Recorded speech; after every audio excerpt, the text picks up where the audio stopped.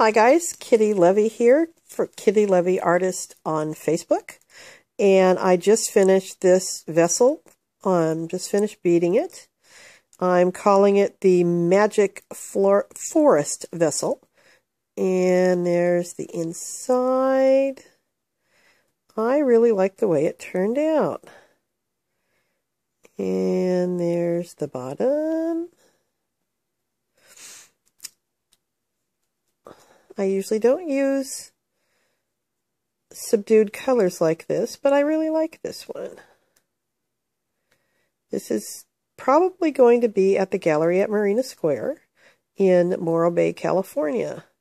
I'm going to be working there tomorrow from about 10 to 6, so please stop by and say hello and come and buy my stuff. Thank you.